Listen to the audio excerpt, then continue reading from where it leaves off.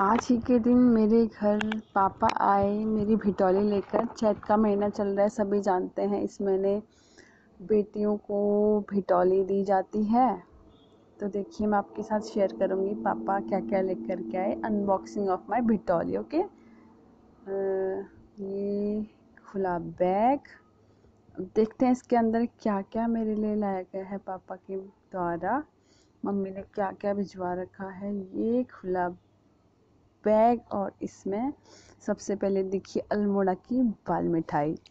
आप सभी जानते हैं कि अल्मोड़ा की बाल मिठाई कितनी टेस्टी होती है। जो पहाड़ से आते हैं ना मतलब ये तो है कि वो अल्मोड़ा की मिठाई ज़रूर अपने घरों को भी ले जाते हैं और जहाँ वो अपने रिलेशन में जाते हैं, वहाँ भी ले जाते हैं। ये आया एक डिब्बा और ये दूसरा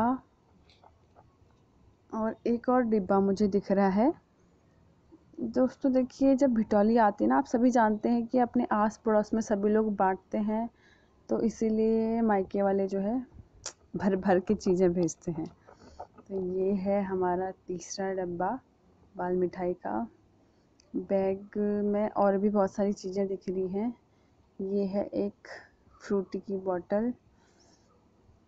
आगे भी बहुत सारी चीज़ें हैं। ये है केले।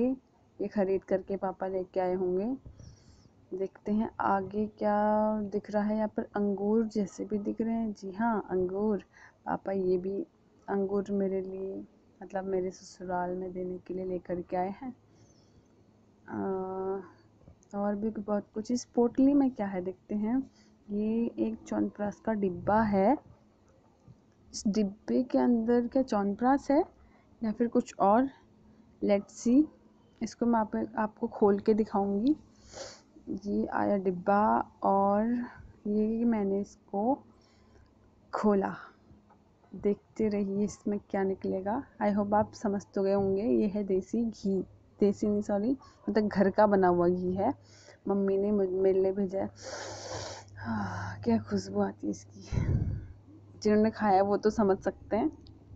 शायद सभी ने खाया होगा जो अभी इस वीडियो को देख रहे हैं। बैग में दिखी एक और पोटली। इसको भी खोल कर देखेंगे कि इसमें है क्या। ये तो बहुत हल्का सा लग रहा है मुझे। हाँ ये देखो, ये है सूखा हुआ धुआर चोखा धुआँ जैसे कहते हैं। इसको हम व्रत वगैरह में भी छौंका लगा करके खा सकते हैं। तो मम्मी ने नवरात्र के व्रत चल रहे होंगे, करके भेजा। अब आया बिटौली का सूट। ये प्यारा सा सूट मम्मी ने भिजवाया मेरे लिए।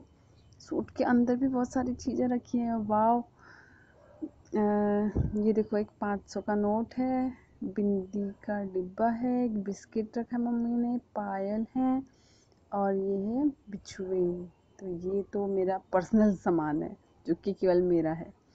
और देखिए, कुछ हमारे पहाड़ में रिवाज होती है, तेल और आटा ले जाने की, जिससे कि भिटौली में पूरियाँ बनाई जाती हैं। तो पापा ये भी लेकर के हैं, देखो एक लीटर का तेल था और यह है पाँच किलो का कट्टा आटे का। So thanks for watching please like करें शेयर करें और सब्सक्राइब करें।